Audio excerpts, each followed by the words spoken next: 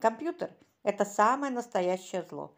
Но если его выключить, тут же активируются два новых зла – холодильник и телевизор.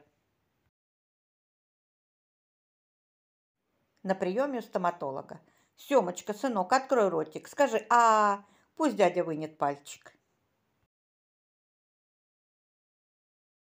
Даже если вы знаете 15 иностранных языков, русский вам все равно необходим.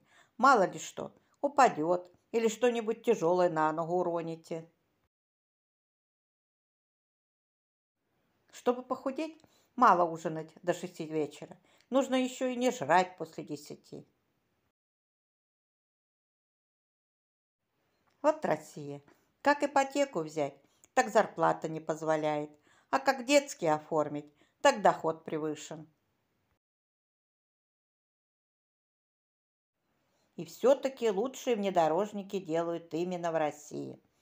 Только почему-то на гусеничном ходу и с пушкой.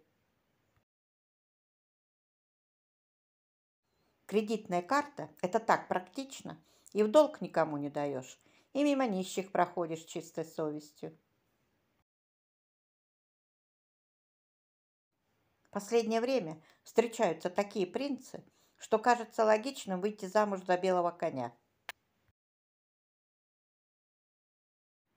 Да сколько же вы будете мне нервы трепать? Я вам сотый раз говорю, это строительный магазин, нет у нас кефира. Ну ладно, ладно, а ряженка? Папа с сыном в аптеке. Папа, а презервативы зачем по три штуки продаются? Это, сынок, для свободных людей. На пятницу, субботу и воскресенье. А по шесть. А это для влюбленных на неделю. А двенадцать. А это для супружеских пар на год.